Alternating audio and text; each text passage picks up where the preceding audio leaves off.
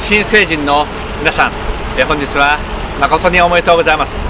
皆さんが生まれた99年から2000年にかけてまさに時代の大きな変わり目でした。えそして新たな門出を迎えた本年も半世紀ぶりに東京オリンピック・パラリンピック。昨年は令和の時代が幕を開けました。この新しい時代に皆さんが一人一人の花を大きく咲かせることができるそうした日本となるよう私も努力したいと思います。皆さんの活躍を大いに期待しています。